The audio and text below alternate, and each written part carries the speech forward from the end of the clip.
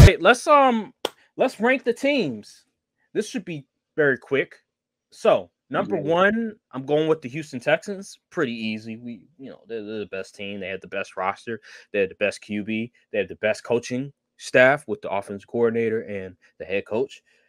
Number two, I'm gonna go with the Jacksonville Jaguars. I just think that they're also too talented.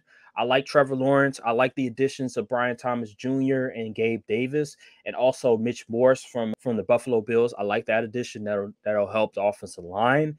They also brought brought in def- defensive coordinator from the Atlanta Falcons. He was really good last year for the Atlanta Falcons and Ryan Nielsen. So I like a lot of the moves that they made. It's just about this year how how are they going to scheme around the the very mediocre to pretty bad offensive line. They have another year with Press Taylor. I think they'll figure out a way to get Trevor Lawrence to deliver the football out of his hands a lot quicker. Then number three, I'm gonna go with the Indianapolis Colts. I just think there's, there's still a question mark with Anthony Richardson. How good is he offensively? I do like the receive- receivers with AD Mitchell, with Josh Downs, and then you you still have Michael Pittman. You you brought you know Jonathan Taylor still there. He's still he's coming back from he came back from I think it was injury last year, but now he's or was it injury? I think it was an injury. Yeah, something like that. And he's going to be fresh. He's going to be rejuvenated. He also got paid, so that's good. Shane Steichen, we already know he's one of the better offensive minds in the NFL.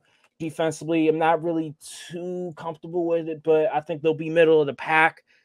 They're number three, and then number four is the Tennessee Titans. I understand that they they signed a lot of dudes in free agency. They brought in a lot of quality talent. They brought in Calvin Ridley. They still have DeAndre Hopkins, but I'm still not all the way there with Will Levis, Tony Pollard. Is he is he still good enough? Was that just the Cowboy scheme? I don't know. Brian Callahan, I think he's a quality offensive mind, but you're going from Joe Burrow to Will Levis, completely different playing styles. I have the Titans at four. What about you? You could not have put that any better than I could. But yeah, I'm I'm pretty much in the same boat. I'm I got the Texans one.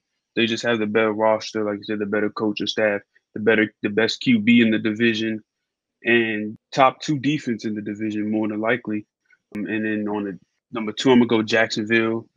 They have a pretty solid roster. It just depends on Trevor Lawrence and how he performs, and if the defense can maintain success throughout the entire year and not falter off midway through the season like last year. Then I'm gonna go with the Colts at three. Anthony Richardson, how will he progress? How is the offense going to look? What is the scheme going to be like? Jonathan Taylor, is he going to be healthy for the full year? I, I know Josh Downs is actually hurt. I don't know how long the injury timeline is, but yeah, the defense, like you said, is probably going to be so-so. Bend but don't break, probably. And then the fourth place, I'm gonna put the Titans. Don't know about Will Levis. Will Levis exactly. It's gonna be year two for him though. D Hop is hurt, but they got Calvin Ridley, and so yeah, that's pretty much what it is. Titans, Jags, Colts, Titans. Wait, no, Yeah. Texans, Texans, yeah. Jags, Colts, Titans. Yeah, yeah, yeah.